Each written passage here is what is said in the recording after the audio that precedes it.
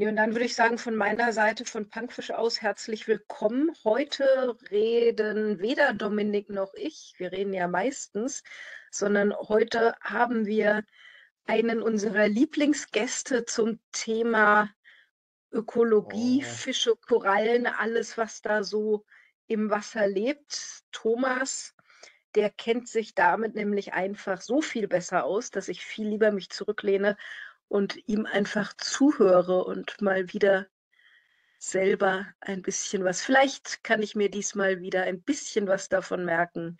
Viel bleibt bei mir da, bei diesen Themen leider, leider immer gar nicht hängen, aber anhören tue ich mir das immer wieder sehr, sehr gerne, weil eigentlich ist es voll spannend. Äh, ich freue mich also sehr und ähm, lehne mich zurück und lass dich reden, Thomas. Vielen Dank äh, für die Vorschusslorbeeren und äh, herzlich willkommen zu einem der spannendsten Themen der Meeresbiologie, Korallen.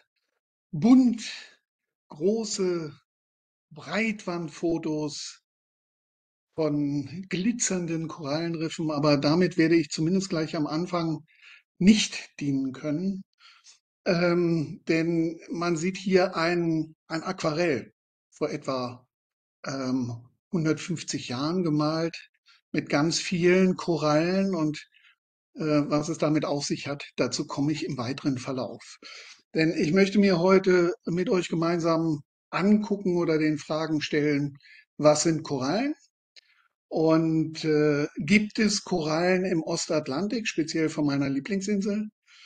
Ähm, und wie vermehren sich Korallen? Denn das ist bis vor, man kann sagen, wenigen Jahren noch sehr rätselhaft gewesen. Es gibt auch heute noch Rätsel, die damit verbunden sind, die ähm, von der Wissenschaft nicht gelöst sind. Ähm, wir wollen abtauchen in ein Ökosystem Korallenriff und uns das Zusammenspiel der verschiedenen Faktoren mal anschauen und uns natürlich leider, muss man immer wieder dazu sagen, auch anschauen, äh, was heute äh, die Riffe, die Korallenriffe und dieses einzigartige Ökosystem bedroht. Ähm, das alles natürlich mit dem Hintergrund, einen mh, Schnupperblick zu werfen in den SSI-Kurs Coral Identification. Ich werde zwischendrin ab und zu darauf zurückkommen, habe aber nicht den Anspruch, hier sozusagen die gesamte Kurstheorie durchzunehmen und natürlich auch ab und zu so ein bisschen über den Tellerrand zu gucken und vielleicht den ähm, noch breiteren Blickwinkel auf die äh, marine Ökologie und äh, den SSI-Kurs oder die Sammlung von SSI-Kursen, die dann unter dem Begriff äh, Marine Ecology subsumiert werden, ähm, da einfach mal reinzuschnuppern. Und ähm, ich mag vielleicht damit nerven, aber es ist einfach viel zu schön für einen Einstieg, ähm, nämlich Shakespeare ja, aus seinem äh, berühmten Theaterstück Der Sturm, Ariel Song. Der ist nämlich einer der ersten Schriftsteller, der ersten modernen Schriftsteller, die von Korallen reden. Und zwar davon, dass ein Gebein, dass eine Leiche, dass ein, ein, ein, ein gestorbener Mensch äh, zu Korallen wird. Und das ist doch etwas merkwürdig und ähm, lässt vielleicht den Spannungsbogen ganz wunderbar beginnen. Wir werden uns anschauen, warum Shakespeare ausgerechnet auf Korallen als Leichenüberbleibsel war. Ähm, aber anfangen möchte ich ähm, wie immer mit dem Blick auf den gesamten Baum des Lebens, hier rechts ein bisschen abgebildet, ähm, die Entwicklung des Lebens, die Entwicklung ähm, der Fauna, die ähm, aus dem Wasser kommt, äh, teilweise ins Wasser zurückgegangen ist und der Entdecker der Evolution, der Entwicklungsgeschichte des Lebens ähm, hat äh, einmal gesagt, der Baum des Lebens sollte eigentlich gar kein Baum genannt werden, sondern er sollte eine Koralle genannt werden. Und wir werden äh, in den kommenden etwa 45 bis 60 Minuten, ähm, glaube ich, verstehen, warum Charles Darwin das so festgehalten hat, dass die Koralle eigentlich der Beispielorganismus für die Entwicklung des Lebens ist. Korallen. Was sind Korallen? Das hat man bis vor etwa 200, 230 Jahren nicht wirklich gewusst. Ähm, trotzdem haben, sind Menschen immer mit Korallen umgegangen. Ähm, und gerade äh, diejenigen, die nah am Meer gewohnt haben, haben sich immer wieder die Frage gestellt, was sind Korallen? In der Mythologie ähm, spielen sie eine Rolle als das Blut der Medusa, die ähm, von Perseus äh, umgebracht wurde, um seine geliebte Andromeda zu befreien. Und das Blut der Medusa, die man nicht anschauen konnte, weil sie so schrecklich aussah, das ähm, ist bei diesem Prozess ins Meer und aufs Ufer getropft. Und zwar insbesondere auf Seetang. Und dieser blutgefärbte Seetang, ähm, der wurde zu Stein und von den Nymphen überall in den Meeren äh, verstreut.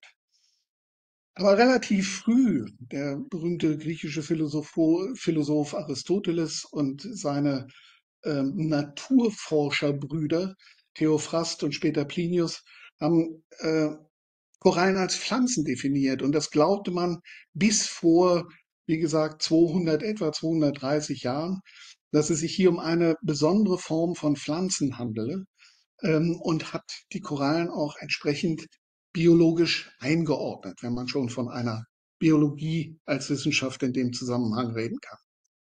Mm, aber ein französischer Forscher, nämlich der Jean-André Personnel, der hat eindeutig das erste Mal festgehalten, dass die Korallen biologisch zu den Tieren gehören. Das war eine absolute Sensation damals, auch weil es mit einigen Beobachtungen verbunden war, was an Korallen als Tier spezifisch ist, nämlich unter anderem, dass sie Kolonien bilden, dass sie knospen, dass sie sich also nicht äh, nur sexuell, sondern auch asexuell vermehren.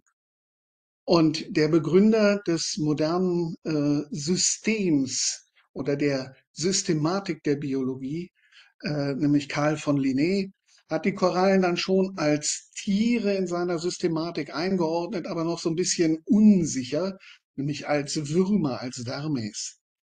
Ähm, das hat sich geändert mit besagtem Charles Darwin und dem, äh, man nennt ihn häufig den deutschen Darwin. Ähm, rechts die Fotos, gerade äh, der Herr Hecke hat ein Affenskelett hinter sich, weil er auch die darwinsche These, dass der Mensch vom Affen abstammt, sehr unterstützt hat. Ähm, die äh, haben ein eindeutig nochmal nachgewiesen, Korallen gehören ins Reich der Tiere, der Animalia. Sie bilden einen eigenen Stamm, nämlich die Cnidaria. Und ähm, die Tiere, die wir im Deutschen als Korallen bezeichnen, äh, kommen äh, aus zwei Klassen dieses Stammes Cnidaria, nämlich aus den Anthozoa, deutsch auch Blumenttiere genannt, und aus den Hydrozoa, wobei man sagen muss, dass äh, bei den Hydrozoa nur eine einzige Ordnung äh, tatsächlich zu den Korallen gehört, wie wir sie im Deutschen verstehen. Denn ähm, Korallen sind nicht nur riffbildende Organismen. Ich werde nachher einige zeigen, die Riffe bilden, aber eben auch ähm, Tiere, die nicht unbedingt in einer Riffgemeinschaft äh, zusammenleben, beziehungsweise ähm, Riffe, also äh, Kalkablagerungen, äh, Kalkkonkremente ähm, bilden. Ja, und hier sind wir schon bei der Auflösung ähm, der äh, Aquarelle. Diese Aquarelle hat nämlich der Ernst Haeckel, der diese Blumenttiere in Klassen unterteilt hat und als ähm, äh, biologische Organismen das erste Mal sehr genau beschrieben hat, sehr detailliert beschrieben hat, hunderte von Arten entdeckt hat ähm, äh, und von, von Gattungen, der hat diese Bilder gemalt. Es gab, als er äh, diese Bilder angefertigt hat und eine Forschungsreise nach Ägypten ins Rote Meer unternommen hat, gab es nämlich äh, äh, zumindest noch keine Farbfotografie. Und ähm, er hat auch nochmal ganz entscheidend äh, bei der Anatomie der Korallen geforscht und den Magen nachgewiesen und entsprechend festgehalten, das müssen wirklich Tiere sein, weil Pflanzen mit Magen gibt es nicht. Aber man muss sich das vorstellen, das gehört mit zu den schönsten Zeichnungen, die es in der äh, Biologiegeschichte gibt. Der hat äh, nicht mit einer Taucherbrille, ähm, nicht mit einer, mit einer Unterwasserkamera, sondern wirklich mit äh, Aquarellfarben, Blöcken äh, und einem Holzkasten mit einer Glasscheibe drin, die Tiere untersucht und in seinen Zeichnungen festgehalten. Wer äh, nicht nur an Meeresbiologie, sondern auch an Kunst interessiert ist, dem empfehle ich äh, dringend mal einen Blick in ähm, die auch heute noch verfügbare Ausgabe über die arabischen Korallen. Wunderschöne Zeichnungen und zeigt, dass äh, ausgezeichnete Wissenschaftler auch ganz wunderbare Künstler und Maler sein können. Aber zurück zu den Cnidaria, zu den Nesseltieren. Wie gesagt, ein Phylum, ein Stamm ähm, in der biologischen Systematik. Und dieser Stamm besteht aus vier Klassen, die sich in den vergangenen vermutlich 800 Millionen Jahren ausdifferenziert haben. Die Kubozoa, die Würfelquallen, ähm, die Scyphozoa, ähm, das, äh, zu denen gehören äh, etliche äh, große Quallenarten, ähm, wie die, wie die äh, Königsqualle und einige andere. Und dann die Anthozoa und die Hydrozoa. Also die Anthozoa, die eigentlichen Blumentiere, ähm, die wir vermutlich als erstes auch als Koralle bezeichnen würden, wenn wir sie äh, im Aquarium oder unter Wasser sehen.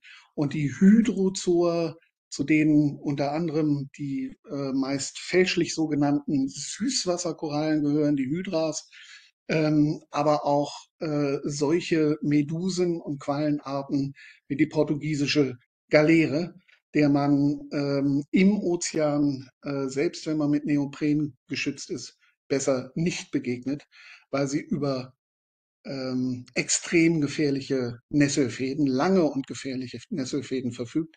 Und das verbindet all diese Tiere, die besagten Nesselzellen. Für die biologisch besonders Interessierten hier einfach nur eine, eine äh, Zwischenfolie. Ich will das nicht weiter kommentieren, aber es ist nach wie vor nicht so richtig klar, wie man stammesgeschichtlich die Nesseltiere und insbesondere die ganz frühen ähm, Klassen dort unterscheiden kann, was die sozusagen an biologischen Eigenschaften neu erworben haben. Ähm, das ist ein Auszug, äh, der den äh, aktuellsten Stand vermutlich äh, in dieser Diskussion wiedergibt, der uns aber heute Abend nicht weiter interessieren muss, es sei denn, es gibt Fragen dazu. Ähm, schauen wir uns die Cnidaria und insbesondere die Korallen oder korallenartigen ähm, Organismen einfach mal genauer an. Ähm, viele, nicht alle, viele Korallen sitzen erstmal scheinbar fest auf dem Boden, weswegen man sie lange eben auch für Pflanzen gehalten hat. Ähm, und Korallen haben Nesseln. Gut, ist bei Nesseltieren zu erwarten. Ähm, da kommen wir aber später noch dazu, denn dazu gibt es einige wirklich spannende Geschichten, die man äh, erzählen kann und wissen sollte. Aber was haben diese Tiere stammesgeschichtlich neu erfunden? Die sind nämlich, auch wenn sich das komisch anhört, stammesgeschichtlich gar nicht mehr so weit von uns entfernt. Ähm, die haben die ersten Muskeln gebildet. Das heißt, sie können Körperbewegungen steuern, auch mit einem Nervensystem. Es gibt bei den Korallen tatsächlich auch erste Beispiele für ein äh, bilaterales Nervensystem, für ein zweiseitiges Nervensystem, wie wir Menschen es äh, auch haben und ähm, alle höher differenzierten, höher entwickelten Organismen. Ähm, diese Muskeln nennt man Mesenterialfilamente. Ähm, aber sie haben de facto genau eine solche Funktion und funktionieren biochemisch übrigens auch ganz ähnlich. Diese Bewegungsorgane können gesteuert und koordiniert werden. Das ist ganz wichtig. Ja? Also die äh, primitiveren Tierstämme, wie beispielsweise die Schwämme, die können das de facto nicht. Die strudeln einfach ein bisschen Wasser ähm, durch ihren Körper. Ähm, Korallen können jagen, auch gezielt jagen, gezielt ihre Nahrung, nämlich meistens Phytoplankton und Zooplankton aus der Wassersäule fischen. Ähm, Korallen haben ein äußerst differenziertes Fortpflanzungssystem. Wir schauen uns das gleich bei dem Thema Korallenblüte noch genauer an. Aber die haben nicht nur eine Lebensform, sondern die bilden eine eigene Larvenform. Ähm, bei den Hydrozoen ähm, haben die sogar drei Phasen, in denen, mit denen sie sich fortpflanzen. Und dabei werden ähm, teilweise recht große Quallen, wie wir auf Deutsch sagen würden, recht große Medusen gebildet.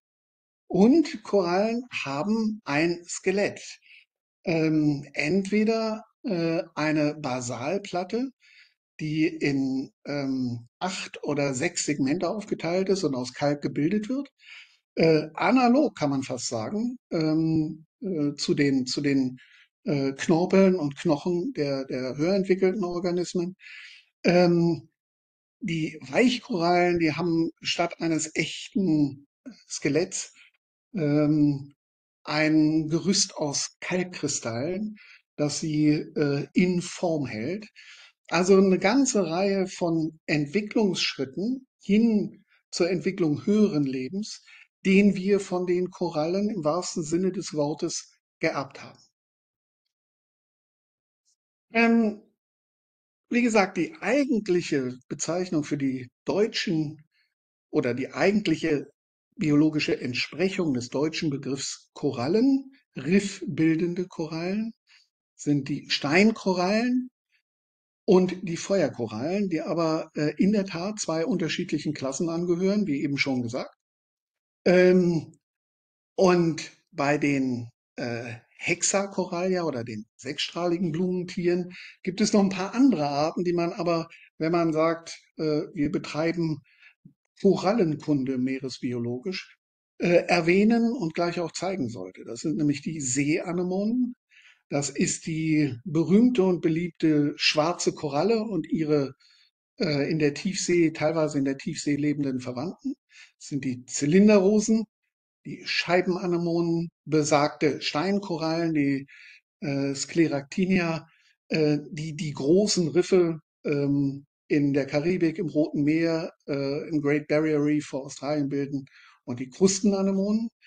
Und die Weichkorallen oder ähm, ohne ein festes äh, Kalkskelett ausgerüsteten Korallen, die Lederkorallen oder Weichkorallen, äh, die Helioporacea, die müssen uns heute nicht so interessieren, die sind sehr selten.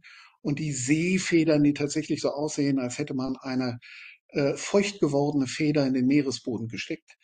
Ähm, und wie gesagt, von der, von den Hydrozoa gehören zum, zur deutschen Begrifflichkeit Korallen ähm, nur die Feuerkorallen ähm, als eine von sechs Ordnungen. Ähm, schauen wir uns einfach mal an, was wir davon sehen können, vor La Palma sehen können. Denn ähm, das ist die Antwort auf die Frage, gibt es im Ostatlantik Korallen? Äh, gibt es vor La Palma Korallen? Und ja, es gibt äh, grob gesprochen von den riffbildenden Korallen rund zwei Dutzend Arten, die vor La Palma vorkommen, die man als Taucher dort sehen kann. Ähm, und zwar in einer Tiefe zwischen 5 und 40 Metern. Und ähm, zu denen gehören die Steinkorallen, die ich hier Grund ähm, zeige, nämlich einmal die äh, Afrikakoralle, Africana virzi. Ähm, ja, ich sehe gerade im Chat auch tiefer, aber ähm, das ist dann mehr was für die Techies. Zu den Tiefseekorallen kommen wir gleich noch. Ähm,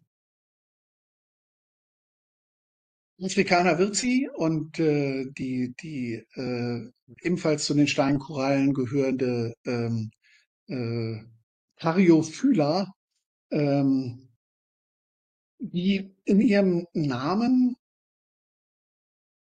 den Namen eines Wissenschaftlers tragen, der viel mit den Korallen zu tun hat, der sie nicht selber gefunden und bestimmt und, und validiert hat, der aber äh, für äh, Taucher nicht ganz unwichtig ist, wenn es um ein anderes Thema, nämlich das Thema Fischbestimmung und auch Bestimmung niederer Tiere geht. Das ist der Peter Wirz, der viele Jahre eine Biologieprofessur in Madeira innehatte. Und einen Ehren haben zwei andere große Meeresbiologen ähm, von der Universität in Teneriffa, Universität äh, La Laguna, nämlich äh, äh, vor allem der, äh, ich glaube Alejandro hieß er mit Vornamen, Brito, ähm, diese Korallen ähm, nach Peter Wirz benannt. Man kann die wunderbar sehen. Äh, einige der beliebtesten Tauchplätze äh, vor La Palma, Malpique beispielsweise, Las Cabras, äh, aber auch vor dem Strand von Puerto Naos, äh, kommen die in einer Tiefe zwischen 5 und 15 Meter vor, brauchen nicht viel Licht, deswegen findet man sie häufig auch äh, am Dach von Höhlen oder Überhängen und echte riffbildende Steinkorallen. Die Wassertemperaturen reichen noch nicht für eine Kalkproduktion, um ein echtes Riff zu bilden. Ähm, aber man kann diese Kalk Kalkablagerungen um die einzelnen Polypen herum äh, sehr deutlich sehen und hat Tata echte Korallen vor La Palma. Ja, also auch Korallen im engeren Sinne als riffbildende Korallen. Nun ebenfalls äh, nach, nicht nur nachgewiesen, sondern sogar endemisch auf den Kanaren, wie man ihrem Namen auch entnehmen kann, äh, Canaria canariensis, ähm, die kanarische Koralle, ist eine achtstrahlige Weichkoralle, ähm, vor Malpique, vor Las Cabras teilweise ganze Wiesen davon. Ähm, die sehen ein bisschen aus wie helles äh, Seegras, kann man fast sagen, ähm, weil sie sehr flexibel sind, sich teilweise auch äh, in der Dünung bewegen. Ähm, ist aber keine Pflanze, ist eine achtstrahlige Weichkoralle, die auch nur vor den Kanaren vorkommt ähm, und auch nur dort bisher validiert worden ist. Dann hm, meine persönliche Lieblingskoralle, ähm, die übrigens keine Gorgonie ist. Äh, ich höre manchmal Taucher, äh, die sie sehen, sagen, wir haben schwarze Gorgonien gesehen. Das ist äh, ein schöner Name, aber biologisch nicht ganz korrekt. Das ist eine eigene Ordnung der sechsstrahligen Korallen, ähm, die äh, gerne auch äh, in größeren Tiefen ist. Man sieht sie oberhalb von 30, 35 Meter eigentlich so gut wie gar nicht. Ähm, aber die bildet richtig gehende Wälder. Äh, sie ist von außen gesehen meist eher gelb und besteht aus vielen, vielen tausend einzelnen Polypen. Und das ist eine der äh, Eigenschaften, der faszinierenden Eigenschaften von Korallen, dass sie eben nicht nur als solitäres Tier, als Individuum vorkommen, sondern äh, zum überwiegenden Teil sogar Kolonien bilden.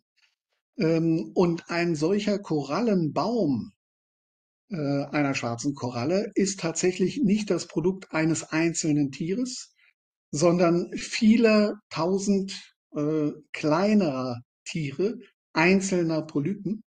Und diese schwarze Koralle, Koralle Antipatella vallostoni, ähm, hat eine weitere faszinierende Eigenschaft. Sie wird nämlich uralt.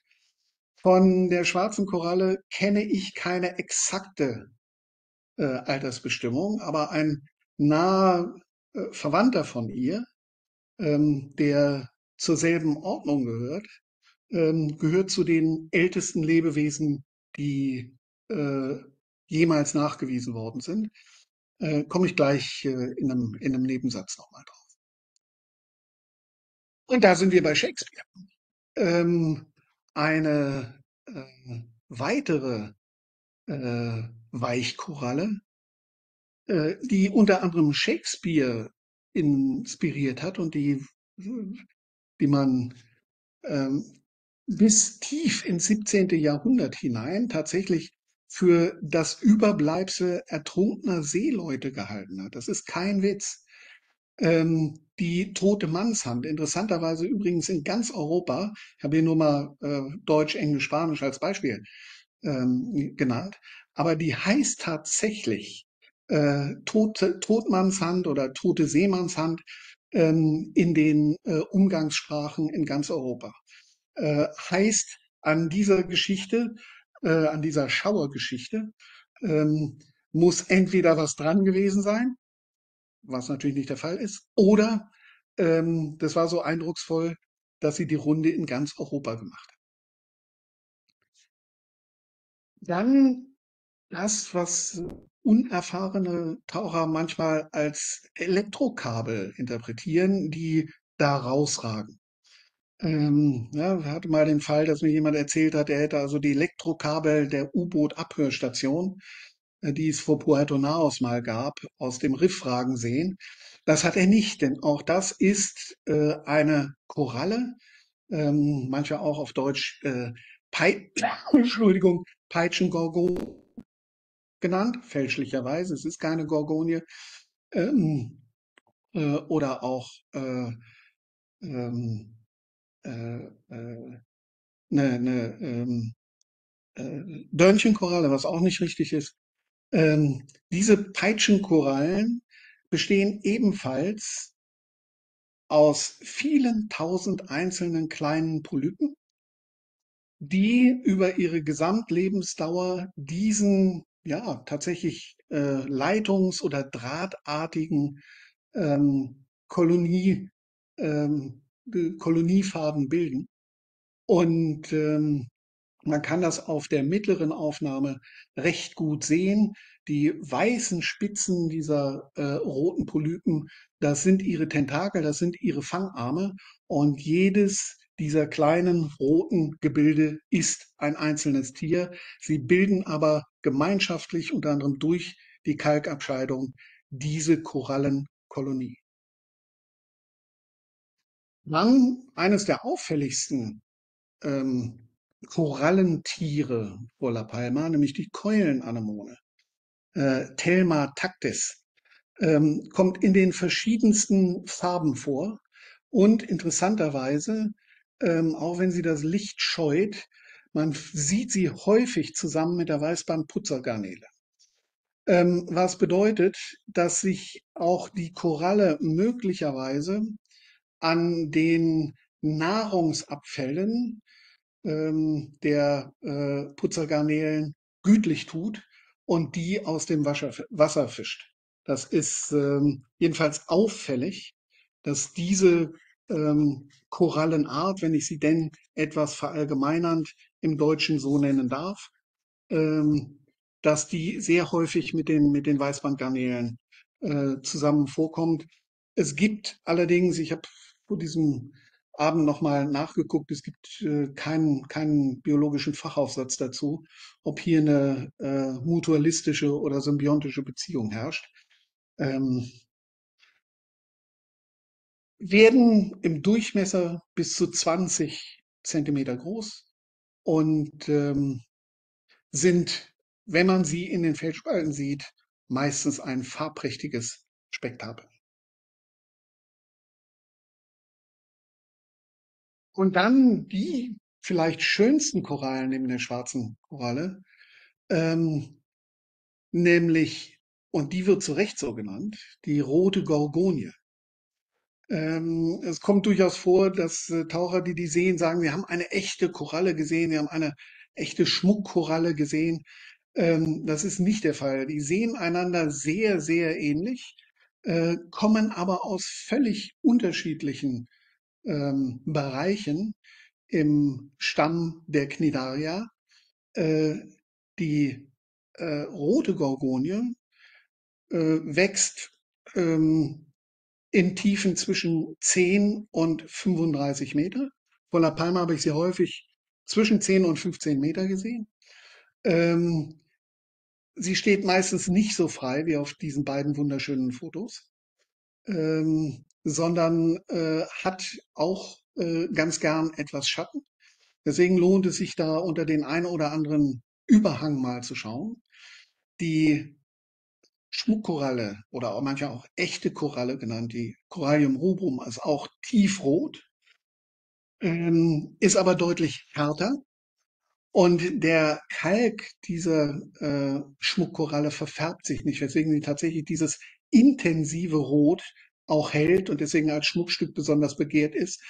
Man sieht sie heute fast ausschließlich, in unseren beiden fast ausschließlich nur noch im, im Mittelmeer. Und sie ist aufgrund dieser intensiven Bejagung leider Gottes auch sehr selten geworden. Ähm, also äh, wenn ihr eine Schmuckkoralle noch seht, nicht zu laut rumerzählen, weil sie ist möglicherweise kurz danach sonst nicht mehr da. Ähm, für äh, echte rote Koralle werden heute irrwitzige Sammlerpreise und auch immer noch Schmuckpreise bezahlt, unvernünftigerweise.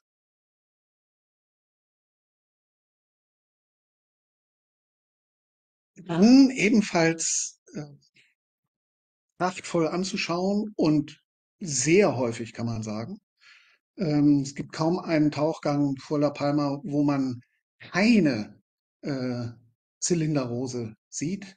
Und auch wenn hier ein Organismus äh, Dons Anemone heißt auf Deutsch, dann ist es keine Anemone, zu denen kommen wir noch, äh, sondern äh, das ist eine Zylinderrose, ähm, die häufig gerne in der Nähe auch von Schwämmen sind. Also hier die Anemonia melanaster, die lebt insbesondere gern in den Goldschwammkolonien.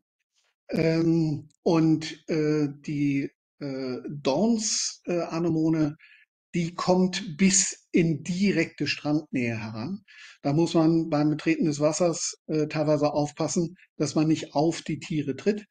Ähm, die sind auch gerne nachtaktiv. Das heißt, die sieht man vor allem bei Nachttauchgängen und gehören, ähm, wie gesagt, äh, ebenfalls zu den Korallentieren. Dann vor La Palma sieht man sie nicht allzu häufig. Aber ähm, wer beispielsweise an der Algarve äh, vor, vor Portugal mal getaucht ist, der wird kaum um eine Begegnung herumgekommen sein. Ähm, eine der, der witzigsten, wenn man das so sagen kann, witzigsten ähm, Anemonenarten, ähm, die vor allem symbiontisch lebt, nämlich auf den Schneckengehäusen, die sich Einsiedlerkrebse suchen. Und die Einsiedlerkrebse adoptieren diese Anemone, die Calyactis, und tragen sie auf dem Schneckengehäuse mit sich herum. Und man hat relativ früh natürlich erkannt, dass es eine Symbiose, also eine ganz spezifische Form des Zusammenlebens von zwei Organismen ist, nämlich Einsiedlerkrebs und besagte Anemone. Aber die Frage ist, ähm, wer profitiert, wer symbiotisiert, wenn ich das mal auf falschem Deutsch so sagen darf, hier eigentlich mit wem? Und by the way, wie kommen die Anemonen auf den, ich übertreibe es mal bildlich, auf den Kopf des Krebses, das so aussieht, als würde der einen Hut rumtragen? Hm, nun können Anemonen anders als andere Korallen tatsächlich wandern. Ich habe unten mal eine Zeichnung eingefügt, unten rechts, und äh, tun das unter anderem auch äh, zu Vermehrungszwecken. Ähm, die können sogar, wenngleich auch nur kurze Strecken, schwimmen, indem sie nämlich ihren Bauchraum, das Wasser ihres Bauchraums ausstoßen.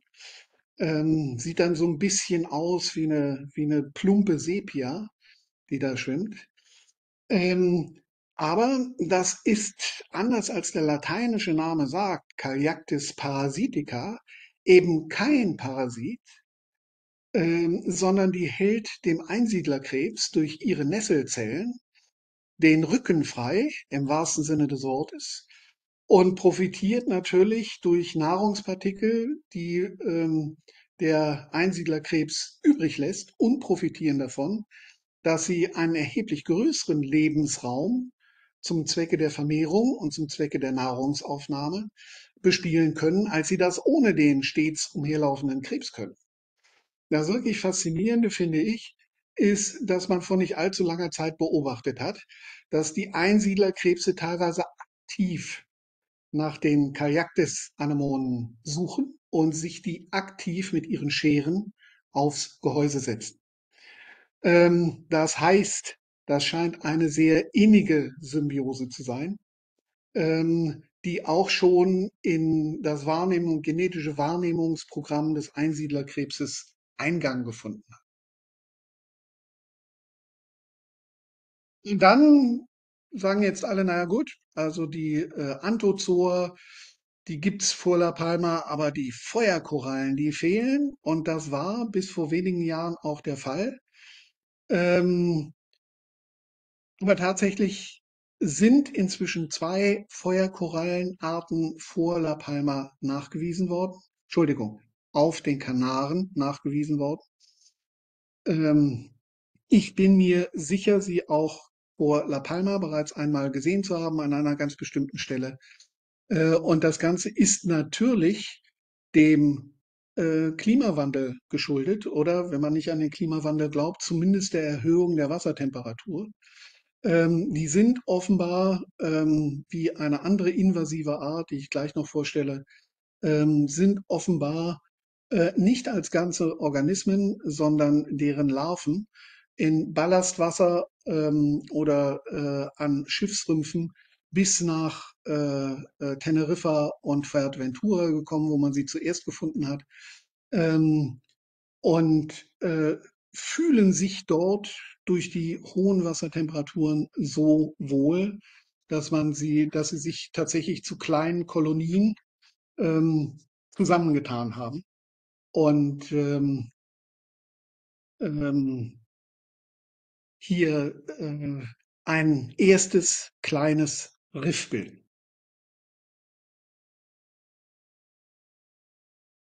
Ja, keine Feuerkoralle, aber eine Steinkoralle und auch eine invasive Art, die offenbar schon äh, zumindest auf Teneriffa und Gran Canaria ähm, erhebliche ähm, äh, Kolonien gebildet hat, ist die orangene Sonnenkoralle, die Tubastrea.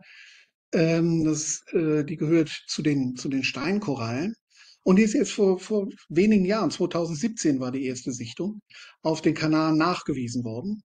Ich bilde mir ein, ähm, dass ich sie vor Las Cabras äh, im Januar gesehen habe. Aber ähm, da ich nicht äh, die kleine Kolonie dort abschaben und unter das Mikroskop legen wollte, ähm, habe ich äh, noch keine echte Validierung. Es würde mich allerdings angesichts der starken Verbreitung auf den anderen eben genannten Kanarischen Inseln nicht wirklich wundern, wenn die inzwischen auch ihren Weg bis nach La Palma gefunden hätte.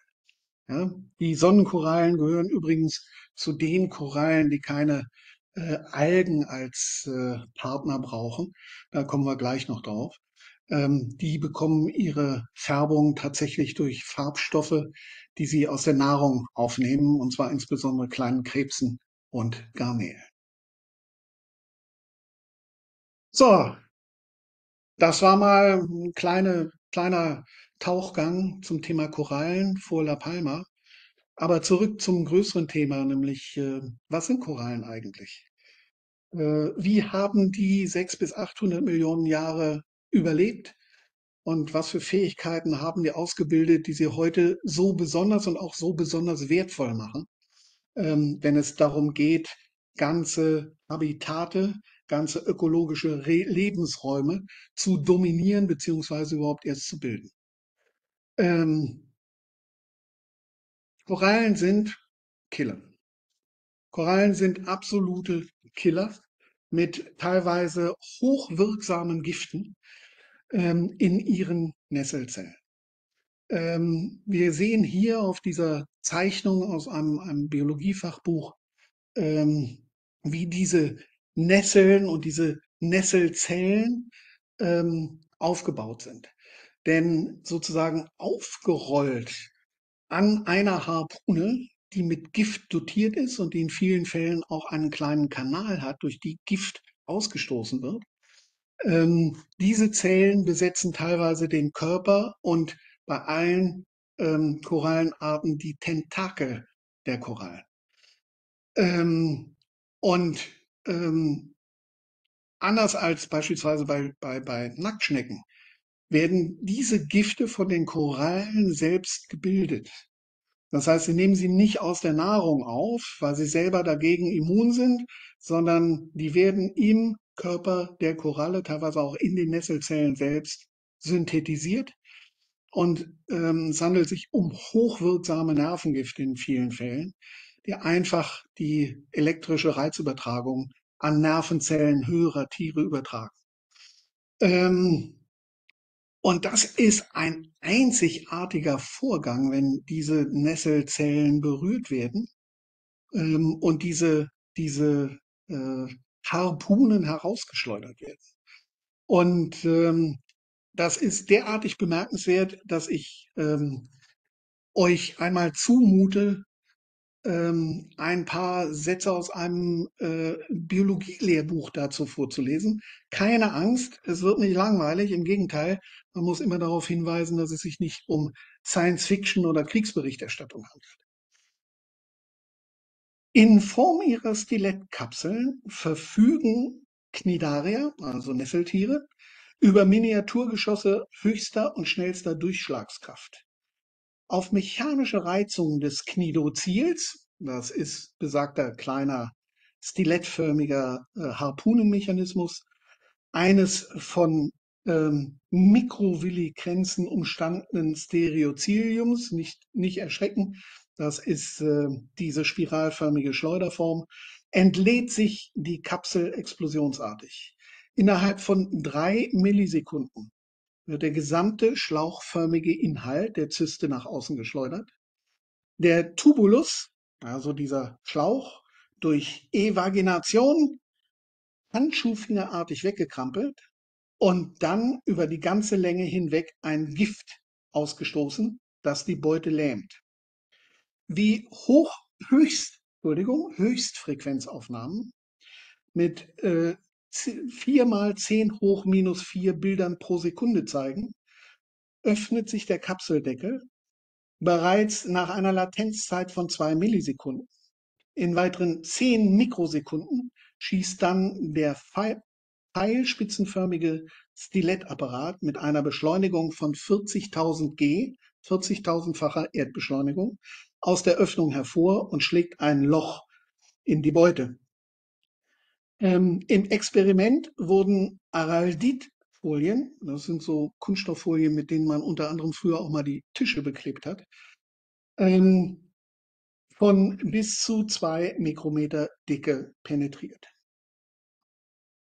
Ins Loch geschlagen können die Stilette nach außen umgeklappt werden und geben die damit erzeugte Öffnung weiter frei.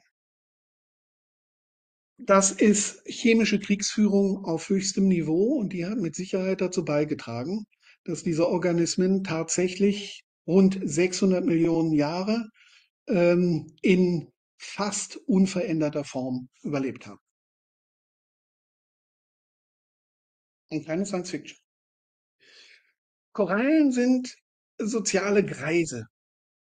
Und sozial, weil sie Kolonien bilden oder einen Korallenstock bilden, die aus äh, teilweise Millionen einzelner äh, Individuen, einzelner Polypen bestehen können. Und das in einem Aufkommen, in einer Menge, dass wir heute beispielsweise in den Alpen und in den Dolomiten ähm, Berge betrachten können, die nicht mehr und nicht weniger sind als ein einziges altes, Millionen Jahre altes Korallenriff. Ähm, aber ich hatte es vorhin schon erwähnt oder darauf angespielt.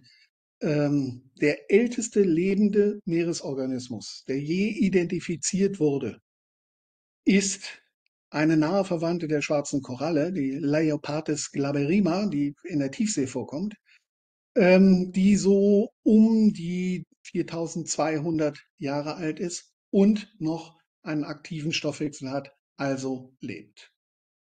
Das ist Rekord und zwar mit Abstand. Dann sind Korallen Geheimnisträger. Und Geheimnisträger ähm, oder Träger von Geheimnissen, die auch heute noch viele Biologen zum Narren halten. Ähm, denn Korallen, ich hatte es schon angedeutet, verfügen über die Möglichkeit, sich sowohl asexuell oder klonal, also mit der direkten Weitergabe ihres Erbgutes, ähm, als auch sexuell, also getrenntgeschlechtlich, Verschmelzung von, von Spermium und Eizelle, zu vermehren. Ähm, das ist in der Evolutionsgeschichte eine raffinierte Strategie. Denn wenn sich eine Larve irgendwo ansiedelt und erstmal ein paar Mal eine Knospung durchführt und erst dann anfängt, Spermien oder Eizellen auszustoßen, dann hat sie natürlich oder hat die Art eine erheblich größere Lebenswahrscheinlichkeit und Überlebens- und Vermehrungswahrscheinlichkeit, äh, einfach aufgrund der höheren Zahl der ausgestoßenen Fortpflanzungszellen. Ähm, und das gilt natürlich insbesondere dann, wenn sich die, gerade die riffbildenden Korallen eben nicht bewegen können, wie beispielsweise die Anemonen. Ähm, daraus folgt, dass es von Vorteil für das Überleben der Art ist, wenn möglichst viele Ei- und Samenzellen gleichzeitig ausgestoßen werden. Und dabei ist die ganz, ganz große Frage natürlich, ähm, wie machen die das? Woher weiß der Korallen, Korallenstock A der Art XY, dass 15 Meter weiter, aber eben nicht nur 15 Meter weiter, sondern unter Umständen Stichwort Great Barrier Reef auch 100 Kilometer weiter.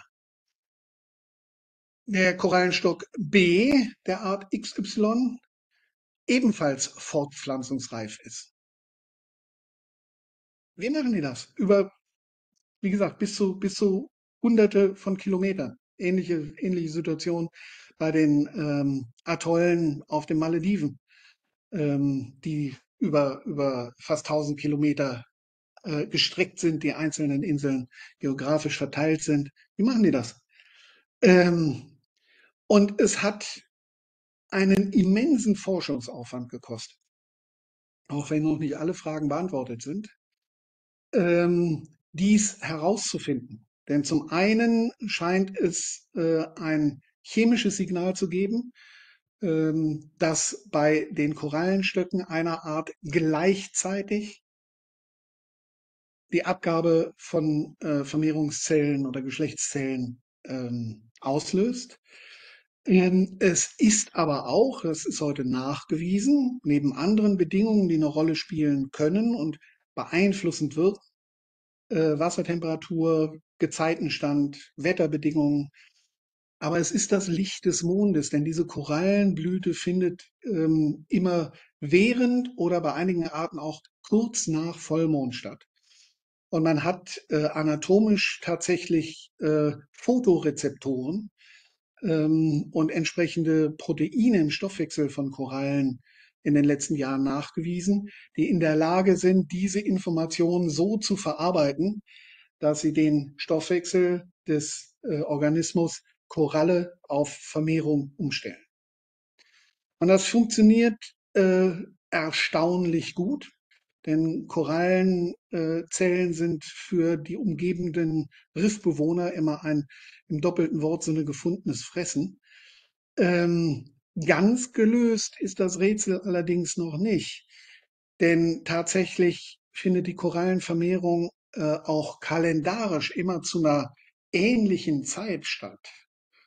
Und immer wenn ein Vollmond mitgezählt werden kann, ja, es findet also einmal im Jahr statt, nicht bei jedem Vollmond, dann kann man zu Recht die Frage stellen, es gibt Jahre mit zwölf und es gibt Jahre mit 13 Mondphasen.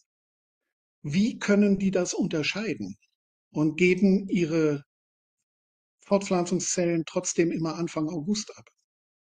Das gehört in der Tat zu den noch ungelösten Rätseln und zu einem ist ein wunderbares Beispiel für die ähm, äh, fantastische Synchronisation dieser Organismen mit ihrer Umwelt. Ja, und hier einfach nur ein kurzes äh, äh, Bild, äh, übrigens äh, auf, der, auf der linken Seite aus dem äh, Lehrbuch äh, zum SSI Coral Identification Course. Ähm, so findet die Vermehrung statt. Einmal sexuell mit Bildung einer Larve, einer eigenen Larvenform und dann durch Knospung, auch unten rechts nochmal in der Zeichnung dargestellt, eines einzelnen Polypen, dessen Zellen sich einfach teilen und der dann einen neuen eigenständigen ähm, Organismus aus seinem eigenen Korpus herausbildet. Wie gesagt, bei den Feuerkorallen ist es sogar so, dass die in einer dritten Phase äh, quasi auch wie eine Larvenform äh, noch eine Meduse, eine Qualle ausbilden. Ja, und dann eine der wichtigsten Eigenschaften von, von ähm, Korallen, ähm, die wir manchmal als, als Gärtner des Meeres bezeichnen. Gärtner. Warum? Und auch das ist eine ausgefuchste symbiontische Lebensweise, wie es sie kaum ein zweites Mal in der Biologie Nämlich Korallen ziehen Pflanzen, ziehen Algen an sich heran, die sie ernähren und die symbiontisch, also gemeinschaftlich mit ihnen leben, mit ihnen sogar Stoffwechselprodukte teilen. Ähm, diese kleinen einzelligen Algen leben auf und in der Koralle. Sie geben der Koralle sogar die Farbe, wenn diese, wenn diese ähm, äh, Zooxanthellen genannten Algen absterben, dann äh, werden die Korallen grau oder weiß. Ja, da kommen wir gleich noch drauf. Das Stichwort Korallensterben und Korallenbleiche. Und diese winzigen Organismen betreiben Photosynthese. Das ist der Grund, warum die meisten äh, symbiontischen Korallen ähm, auch äh, in sehr geringer Tiefe gerne leben und in Bereichen, in denen die Sonne mehr scheint als anderswo, nämlich ähm, dass diese Algen Photosynthese betreiben können, also Energiegewinnung und chemische Bindung dieser Energie aus Licht. Ähm, nein, es sind Algen. ähm, das Wort Protisten würde ich äh, in diesem Zusammenhang nur anwenden, wenn man vorher erklärt, dass Protisten äh, auch beim Thema Bakterien und Pilzen eine Rolle spielen. Ja? Ähm, von daher äh, diese äh, Symbiondinien, wie sie manchmal auch genannt werden, bilden Zucker, bilden Peptide, ähm, die der Koralle zur Verfügung gestellt werden. Und sie manipulieren in direkter Nähe des Korallenstockes äh, auch den Gehalt an Kalk, aus dem die Koralle äh, im Zusammenspiel ähm, mit äh, einigen anderen ähm, Stoffen im Meer, unter anderem mit Hydrogencarbonat ähm, und äh, äh, Calciumcarbonat tatsächlich Kalk bilden und ähm, absondern kann und diesen äh, Kalkstock am unteren Ende ihres Körpers ähm, äh, bilden kann. Das heißt, hier teilen zwei Organismen, einmal Alge, einmal ähm, äh, höher entwickelte, äh, höher entwickeltes Nesseltier, Stoffwechselprodukte und zwar zum jeweiligen äh, äh, Benefit ihres äh, symbiontischen Partners. Ähm, die Korallen ernähren sich bis zu 50 Prozent von diesen Zuckern der Algen. Darüber hinaus fischen sie mit ihren Tentakeln in der Tat äh, Zoo- und Phytoplankton zur Ernährung.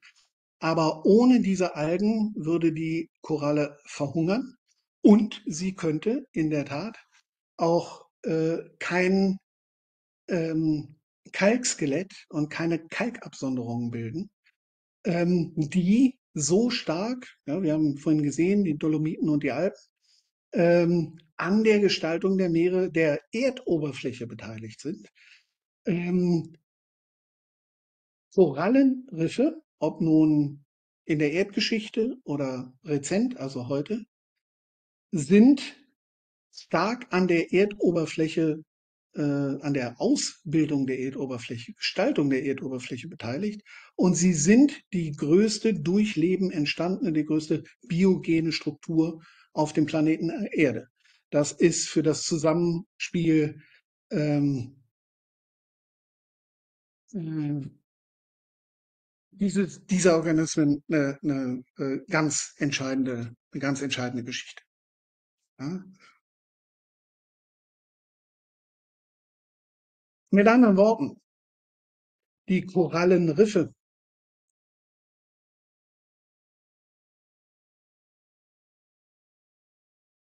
gehören zu den wichtigsten Unterwasserlandschaften, zu den wichtigsten 0,2 Prozent. Denn so viel oder so wenig ist es, ähm, wenn man das äh, zusammennimmt, ähm, zu den wichtigsten 0,2 Prozent äh, des Meeresbodens. Mm, ungefähr bei den gut entwickelten Korallenriffen 250.000 Quadratkilometer. Ähm, aber in diesen 250.000 Quadratkilometern leben ein Drittel aller bisher bekannten und validierten marinen Arten und mehr als 25 Prozent der bekannten Meeresfische. Ja, nicht ihr ganzes Leben lang, manchmal nur als Jungtier, als Juvenilform. Ähm, aber da sieht man, was diese relativ kleine Gesamtfläche für eine enorme ökologische und biologische Bedeutung hat. Die tropischen Korallenriffe und die Lebensgemeinschaften dort gehören zu den produktivsten und komplexesten Ökosystemen der Erde und sind der Lebensraum von irgendwas zwischen einer halben Million und zwei Millionen rezenten Arten, also Arten, die heute im Meer vorkommen. Die produzieren mehr Biomasse pro Jahr ähm, als äh, sämtliche anderen Ökotope im Meer und liegen ähm, mit bis zu 12 Kilogramm Biomasse pro Quadratmeter gleich auf mit den Regenwäldern und mit den intakten ähm, Moorlandschaften, sofern es die äh, im subtropischen Bereich überhaupt noch gibt. Ähm, heute äh, gibt es, wie schon erwähnt, nur noch zwei ähm, Ordnungen, die als, als Erbauer von, von äh, Korallenriffen ähm, bekannt sind. Aber ähm, diese Leitorganismen sorgen für eine Heimat von äh, Hunderttausenden verschiedener Einzeller, zum Beispiel den Kalkalgen, für Schwämme, für Muscheln, auch große Muscheln, die, die Mördermuschel Tridacna gigas äh, kommt fast ausschließlich in Korallenriffen vor. Kalkbildende ähm, äh, Schnecken, auch festsitzende Schnecken, die Wurmschnecken, die Kalkgehäuse bilden. Aber all dies würde ohne den Leitorganismus Koralle nicht stattfinden. Und auch die Nahrungsversorgung, unter anderem von uns Menschen, äh, würde ohne Koralle, Korallenriffe relativ bald zusammenbrechen.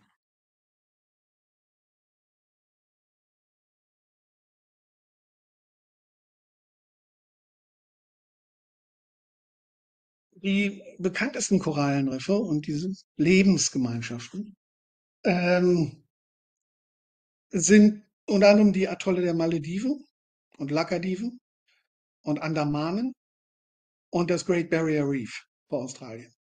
Ja, also Korallen benötigen und nicht nur die Korallen, sondern eben gerade auch die Zooxanthellen, ihre Symbionten, äh, benötigen warmes Wasser, warmes, nährstoffarmes Wasser. Ähm, und man hat lange, lange, lange geglaubt, dass äh, solche Korallenriffe eigentlich nur ähm, wirklich in äh, geringer Tiefe, auch wegen des Lichteinfalls und dieses, äh, äh, diese, dieser symbiontischen Existenz äh, mit den Algen, ähm, äh, dem, stattfinden kann, wo also viel Licht und, und warmes Wasser ist, ähm, und hat ähm, sehr überrascht festgestellt, dass sich äh, die äh, Klassen, insbesondere der, der äh, Anthozoa und Hydrozoa, aber auch in ganz anderen Bereichen des Meeres bewegen, nämlich in bis zu 1000 äh, Meter Tiefe, also in der Tiefsee. Ähm, und die funktionieren nicht bei warmem, sondern die funktionieren bei kaltem Wasser, bei 4 bis 12 Grad. Ähm, das äh, Röstriff am Rande des, des äh, Kontinentalschelfs vor den Lofoten ähm, ist ein riesiges Riff, das den Vergleich mit dem Great Barrier Reef nicht so richtig scheuen muss. Es ist auch noch nicht komplett in seiner Ausdehnung festgelegt und erforscht. Ähm, und dort leben allerdings ohne ihre äh, symbiontischen Partner, äh, die Algen, dort leben Korallen und bilden auch in der Tiefsee eine solche Riffgemeinschaft. Äh, die biochemischen Vorgänge, äh, mit denen auch dort eine Kalkabscheidung stattfindet, sind noch nicht komplett erforscht. Ähm, dazu kann ich von daher wenig sagen. Aber diese Organismen haben nicht nur das Meer in geringer Tiefe ähm, äh, erobert, sondern eben ganz offenbar über äh, zumindest die 1000, oberen 1000 Meter der Wassersäule. Ein ähm, Ökosystem Korallenriff kurz zu beschreiben, ist eigentlich unmöglich. Ähm, einfach weil es extrem komplex ist und weil sein Funktionieren von unzähligen ineinandergreifenden biologischen Faktoren abhängt. Aber in einer groben Beschreibung des Ökosystems kann man sagen, es dient als Nahrungsquelle, es dient als Jagdrevier, es dient als Habitat, als Wohnraum, es dient als Versteck, als Kinderstube und Putzerstation und ähm, entsteht überhaupt erst in dieser Wechselwirkung von Tausenden und Hunderttausenden Organismen die aber alle davon abhängig sind, dass Korallen ihnen diese Lebensumgebung schaffen. Also ökologisch eines der wichtigsten, aber auch zerbrech zerbrechlichsten Systeme. Wie sind die entstanden? Ja, also habe ich eben schon gesagt, schön, äh, die scheiden Kalk ab, die bilden einen Kalkfuß, mit dem sie sich äh, an eine Oberfläche ähm, oder auch an anderen, teilweise abgestorbenen Korallen ähm, anheften und so immer weiter wachsen. Aber wie kommt es dazu? Und auch bei der Entdeckung dieses Mechanismus spielt der Charles Darwin eine ganz, ganz große Rolle. Mm, der ist nämlich bei einer Reise durch Südamerika auf, äh, und er war wirklich ein exzellenter Biologe, auch, auch exzellenter ähm, Fossilienkundler, ähm, und der ist äh, bei seinen Spaziergängen äh, auf Organismen oder Kalkskelette von Organismen gestoßen, ähm, die er ein eindeutig als erstens mal Meeresorganismen, er hat nicht nur Korallen gefunden, äh, auch Muscheln und Schneckengehäuse, aber eben auch Korallenskelette gefunden hat. Auf drei bis 4.000 Meter Höhe woraus er messerscharf geschlossen hat, dass zum einen sich die Erdoberfläche geologisch verändert. Das hat äh, auch einen Einfluss gehabt auf die Entstehung der äh, Kontinentaldrifttheorie von Alfred Wegener, von der wir heute wissen, dass es keine Theorie ist, sondern die reine geologische Wahrheit. Ähm, und dass sich möglicherweise durch Absenkung, aber auch durch äh, Erhöhung von ehemaligen Meeresoberflächen ähm, geologische Gebilde ähm, bilden können, die dem Wachstum von Korallen nicht nur dienen, sondern die sozusagen in ihrer Gesamtform durch die Korallen äh, mitgestaltet werden. Da gibt es die Saumriffe, das heißt an der Küste eines äh, Kontinents oder einer Inselgruppe wachsen Korallen, sogenannte Wallriffe oder Saumriffe, und denen, äh, zumindest unter Wasser, die äh, Form dieses, äh, dieser Landmasse immer weiter aus, indem sie über Jahre, Jahrtausende, Jahrmillionen immer weiter wachsen. Und zwar ins Wasser hineinwachsen. Dann gibt es den Fall, dass diese Saumriffe so weit ausgedehnt sind, dass übrigens auch durch ähm, den ausgewaschenen, die, die, die ausgewaschene Struktur von äh, Korallenskeletten, ähm, nämlich ähm, im wahrsten Sinne des Wortes Kalksand, dass sich eigene äh, Atolle bilden, eigene Dünen bilden, aus denen wiederum Inseln entstehen. Die Malediven sind davon ganz stark geprägt, ähm, dass äh, innerhalb der Atolle teilweise ähm, kleine Inseln, ja, die berühmte One Palm Island, ein Sandhäufchen in der Lagune mit einer Palme drauf.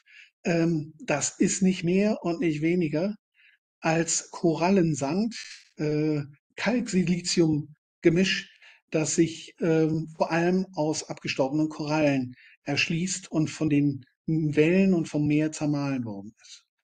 Ähm, und das hat äh, in der Tat Charles Darwin so das erste Mal beschrieben oder damals vermutet. Und zu den Atollen kommt noch hinzu, dass hier ähm, alte vulkanische Aktivitäten, alte Vulkankegel ähm, durch die geologische Bewegung sich abgesenkt haben, ähm, teilweise bis zu zwei Kilometern tief, aber dass die Korallen ähm, diese äh, Absenkbewegungen kompensiert oder sogar überkompensiert haben. Die sind im wahrsten Sinne des Wortes gegen die Absenkung angewachsen und ähm, haben dann solche Riffformen wie unten in der untersten Zeichnung und äh, rechts auf dem, auf dem NASA-Foto zu sehen, solche Atolle gebildet. Das sind biogene Strukturen. Das sind keine geologische Strukturen.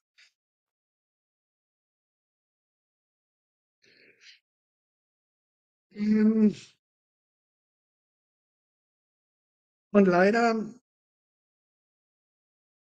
sind diese biogenen Strukturen und die sie bildenden Organismen heute massiv bedroht. Ähm, das heißt nicht, dass Korallen nicht auch schon vorher äh, wunderbar als Beute oder als ähm, Opfer von Krankheiten äh, betrachtet wurden. Ja, also ähm, die, eine der großen Plagen der Korallenriffe heute, die, die White Pox, die weißen Korallenpocken. Ähm, der Erreger stammt vermutlich aus menschlichen Abwässern. Das ist aber noch nicht ganz klar. Ähm, das Blackband Disease, die äh, Schwarzbandkrankheit, das, äh, die, die ist vermutlich schon deutlich älter. Da hat der Mensch erstmal nichts mit zu tun. Ähm, Papageienfische, übrigens auch auf La Palma, sind, sind Fressfeinde und ganz besonders der berühmte Dornenseestern, Dornenkronenseestern oder auch manchmal verkürzt nur Dornenkrone genannt, Acanthasta planki, ähm, der äh, tatsächlich ein auf Korallenpolypen spezialisierter Jäger ist. Ähm, das sind historische äh, Feinde der Korallen. Wobei man sagen muss, dass Acanthasta planki mh, durch äh, menscheninduzierte Bedingungen teilweise zur Plage für Korallenriffe wird. Der kann ganze, ganze Landstriche unter Wasser leer fressen. Ein Tipp übrigens alle Taucher, die in tropischen Korallenriffen tauchen. Es wird immer noch erzählt, dass äh, man die Dornenkrone abstechen soll und damit die Korallen schützt. Ähm, das ist nicht richtig. Ihr tötet damit zwar einen argen Fressfeind der Korallen, aber durch das Abstechen mit dem Tauchermesser äh, kann es passieren, dass ähm, Tausende äh, von reifen Eiern äh, freigesetzt werden und ihr aus dem einen Fressfeind innerhalb kürzester Zeit Tausende von Fressfeinden, Fressfeinden gemacht hat. Die Dornenkrone hat auch natürliche Feinde und die fressen sie mit den Eiern oder gerade sogar wegen der Eier. Also von daher ähm, äh, die Bitte, das nicht mehr zu tun und den äh, Tipps voll, nicht vollständig informierter Tauchlehrer in der Hinsicht nicht zu folgen. Gefährlicher für die, äh, für den Bestand der Korallenriffe sind aber abiotische Faktoren, für die leider meistens wir Menschen verantwortlich sind. Nämlich Verschlechterung der Wasserqualität, Müll, ja, Plastik, ähm, das äh, äh, macht, macht äh, verdunkelt Korallen, äh, äh, Plastik, das sich in den, in den Korallenverästelungen verfängt, ähm, führt äh, bei Wellenbewegung zum Abbrechen derselben. Ähm, die Versauerung des Ozeans, natürlich die Fischerei, wenn jemand äh, mit Schleppnetzen oder Dynamit oder Cyanid in die Korallenriffe reingeht, um Fische zu erlegen, ähm, dann ähm, erklärt sich von selbst, dass das mit äh, massivem Rückgang der, der, äh, des, des gesamten Lebens dort verbunden ist. Äh, aber es gibt ein Phänomen, das tatsächlich Korallen im Ganzen, in ihrer gesamten biologischen Existenz bedroht und die gesamten Lebensräume bedroht. Auch das ist relativ einzigartig. Ich habe das persönlich mal auf den Malediven in der Ende, Ende der 90er erlebt. Eines der ersten großen hier gelb markiert unterhalb von, von, von indischen Subkontinent. Ähm, dass tatsächlich binnen weniger Monate, teilweise weniger Wochen, aus einem quicklebendigen, bunten Korallenriff eine weiß-gräuliche Unterwasserwüste wird. Und man hat das lange Zeit auch für einen äh, biotischen Faktor äh, gehalten, also für einen, für einen natürlichen Prozess, ähm, was es teilweise auch ist. Korallen können genauso sterben wie andere Organismen auch. Ähm, aber die enorme Dichte und die enorme Häufigkeit dieses Coral Bleaching Vorkommens, ähm, das ist menschengemacht. Das sind wir. Ja? Warum? Zum einen äh, das Thema Klimawandel, das in aller Munde ist.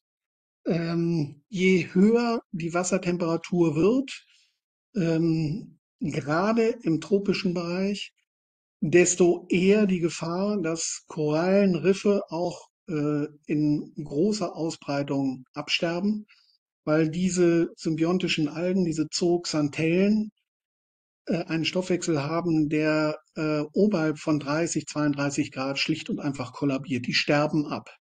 Was wiederum bedeutet, dass die Korallen nicht nur ihre Farbe, sondern ihren Lebenspartner verlieren. Ich will das mal etwas vermenschlicht ausdrücken ähm, weil sie keine Nährstoffe mehr zur Verfügung gestellt bekommen, beziehungsweise ähm, die äh, Verteilung des Substrats Kalk im umgebenden Meerwasser äh, nicht mehr reguliert werden kann. Und dann gehen auf diese einladenden Strukturen sofort ähm, ein- und mehrzellige Algen drauf, äh, andere Arten natürlich als die Zooxanthellen, und äh, überwachsen ähm, die restlichen noch lebenden Polypen, Korallenpolypen, die im Riff vorhanden sind.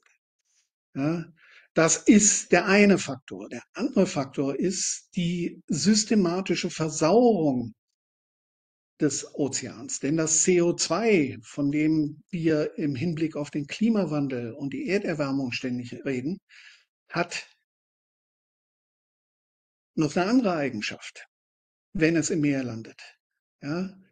Ähm, dieses CO2 wirkt im Zusammenspiel mit Hydrogencarbonat wie Kohlensäure. Das heißt, äh, das Wasser wird sauer, der pH-Wert wird niedriger.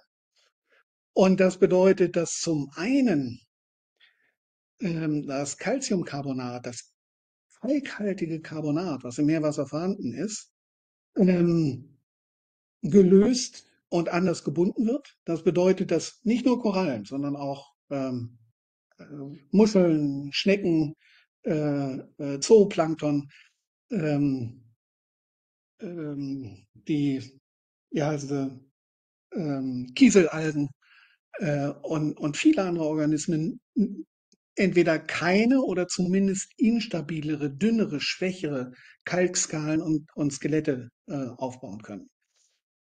Ähm, das bedeutet in der Konsequenz, dass es kleinere Organismen gibt, weniger Or Organismen gibt ähm, und dass der Energieaufwand, der zur Kalkskelett- oder Kalkschalenbildung betrieben werden muss, deutlich höher ist. Das heißt, wir haben zum einen die Bedrohung durch die erhöhte Wassertemperatur, zum anderen die Bedrohung durch mehr Säure, ich drücke es mal ganz einfach aus, im Wasser. Ja, so dass wir eben leider sagen müssen, dass die schönsten Tauchgründe in hohem Maße bedroht sind. Äh, Im Moment etwa 58 Prozent der weltweiten Riffareale sind durch diese Faktoren, die ich eben genannt habe, ähm, bedroht und akut gefährdet. Ähm, beziehungsweise, äh, wir haben im Moment in der Karibik so einen Vorgang, ähm, auch über äh, viele Quadratkilometer schon vollständig hinüber. Ähm, rund 30 Prozent der Korallenriffe, die wir kennen, die wir aus dem letzten Jahrhundert oder in den letzten zwei Jahrhunderten kennengelernt haben, gelten bereits als verloren. Ein Drittel von den 750 riffbildenden Arten stehen über 230 Arten auf der roten Liste der IUCN, beziehungsweise konkreter des, äh, der CITES-Liste des Washingtoner Artenschutzabkommens äh, und sind, Entschuldigung, entweder stark gefährdet oder akut vom Aussterben bedroht. Und die weiteren 280 Arten sind als potenziell gefährdet eingestuft. Äh, man muss kein großer Mathematiker sein, äh, um festzustellen, dass damit rund zwei Drittel aller Arten äh, einen Gefährdungsstatus haben und ähm, wir über keine Methode verfügen, diesen Gefährdungsstatus durch Veränderungen der Umweltbedingungen schnell zu ändern. Ähm, es gibt, und das ist sicherlich interessant, auch weil deutsche ähm, äh, Forscher da eine, eine, ganz entscheidende Rolle spielen.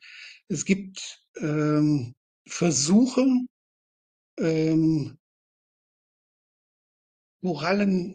Korallenwachstum künstlich zu fördern, Korallen zu schützen, äh, ihnen sogar einen neuen Lebensraum zu schaffen und Lücken in einem Korallenriff ähm, zu schließen. Da gibt es die berühmten Biorocks, das sind äh, Stahlgeflechte äh, in verschiedensten Formen. Die kann man tatsächlich auch so wie so, wie so äh, Felsen ähm, zusammenbinden, zusammenflechten, durch die ein schwacher elektrischer Strom geleitet wird. Dadurch ändert sich die Versauerungsreaktion um und die Bildung von Calciumcarbonat, das vorher äh, lysiert wurde, das aufgelöst wurde, äh, wird wieder gefördert.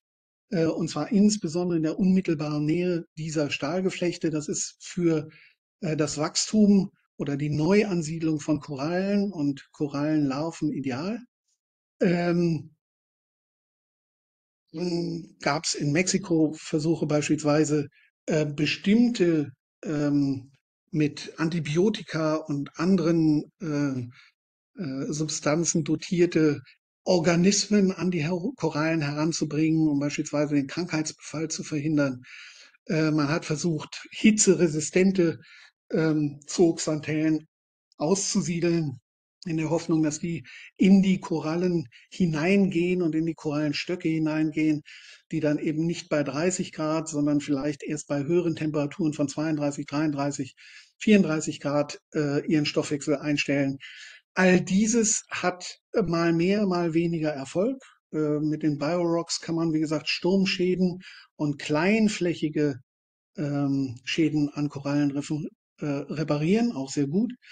Aber es sind natürlich eine absolute Illusion, Strukturen wie ein maledivisches Atoll oder einen äh, äh, größeren Teil des Great Barrier Reef mit solchen Maßnahmen ähm, zu reparieren oder zu ersetzen. Ähm, es gibt derzeit eine, keine funktionierende Methode, die eine solche großflächige Rettung und Reparatur von Riffen möglich machen würde. Das wäre auch wirtschaftlich nicht finanzierbar. Mhm.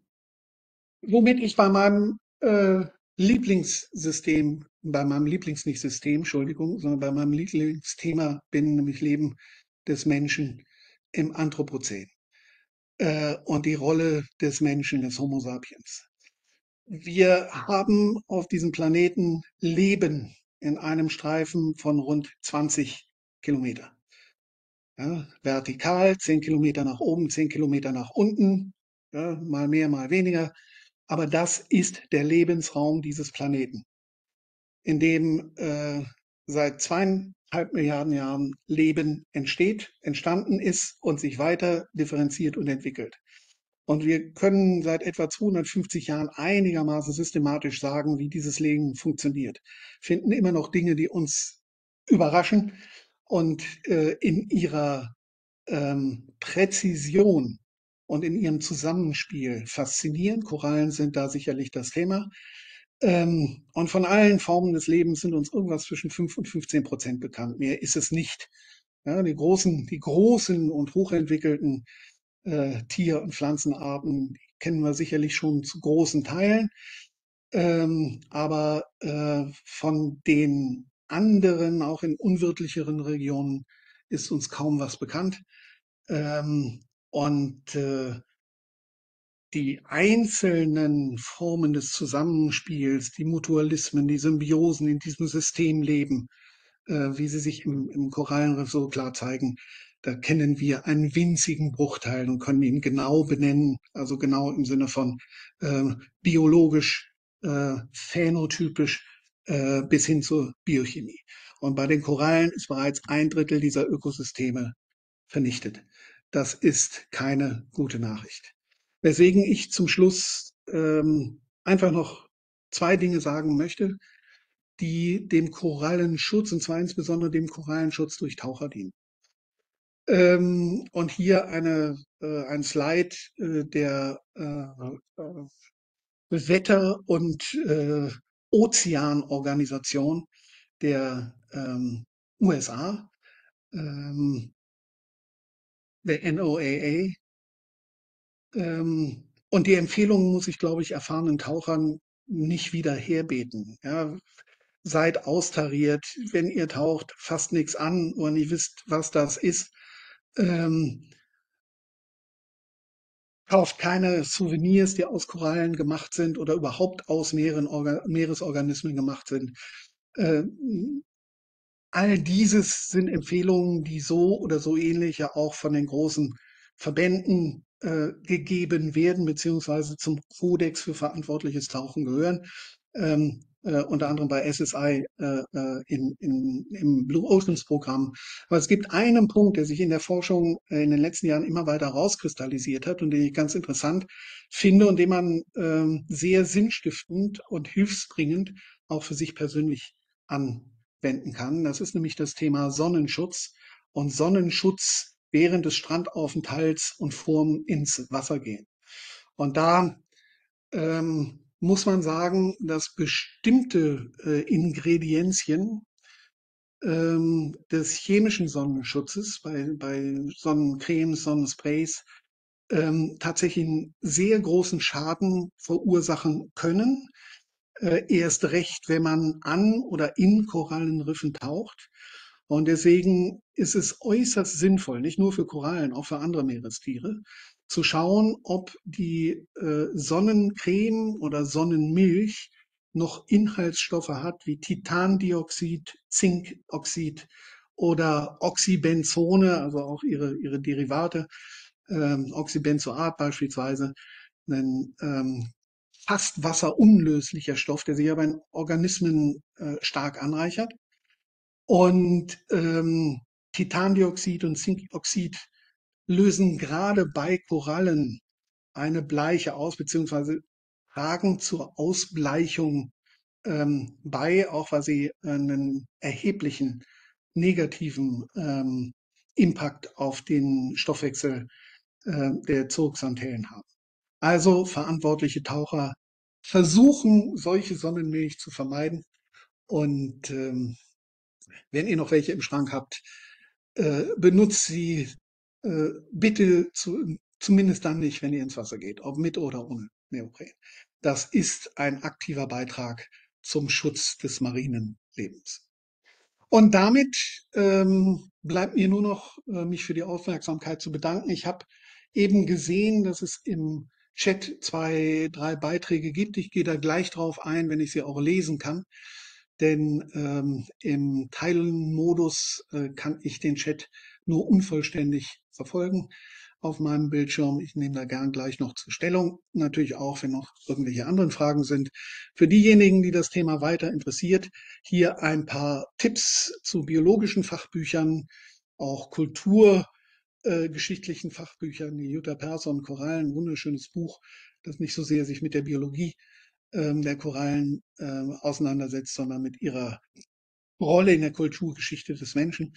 Und ähm, die äh, entsprechenden Portale und Webpages, äh, unter anderem äh, ganz unten Biota, die Webpage, die ähm, versucht, das gesamte biologische Leben auf den Kanarischen Inseln zu systematisieren und darzustellen.